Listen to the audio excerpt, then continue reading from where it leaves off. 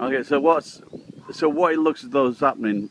I had uh, I, I had these sirens wailing, and I saw two coppers before on bikes. I just spoke to this gentleman, and what, and he says it's Saizen, and it's the shrine.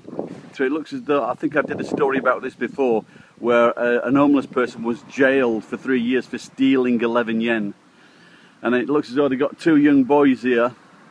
Because usually young kids like this, they don't. There's not much to steal surely from these shrines, because you know the priests empty them quite often. So it looks as though they might be, they might have been like trying to rifle the uh, rifle the shrine. A copper's looking my way now.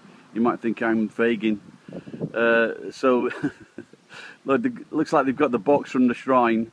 So, but like I said before, the siren was the police car was racing down here like crazy, and you know you think there's some kind of uh, mass robbery. But looks like they've got a young lad and they're taking him to the. That's why the car came to put him in the back of the police car. Hmm? Ah, so so the, so the, the gentleman here says someone's obviously contacted the police. He's locked his but looks like they're going to take him a trip to the, give him a whipping, and say not to steal 100 yen again, and maybe jail him. But meanwhile, politicians they can fucking have 100 million yen sitting in a bank account. 100 million yen is about a million dollars, and uh, they'll say, "Where did this come from?" And they'll just say, "I don't know. I don't. God knows where it came from," and they just believe them. But like I say, steal 20 yen, you're in trouble. Steal millions of dollars, no problem.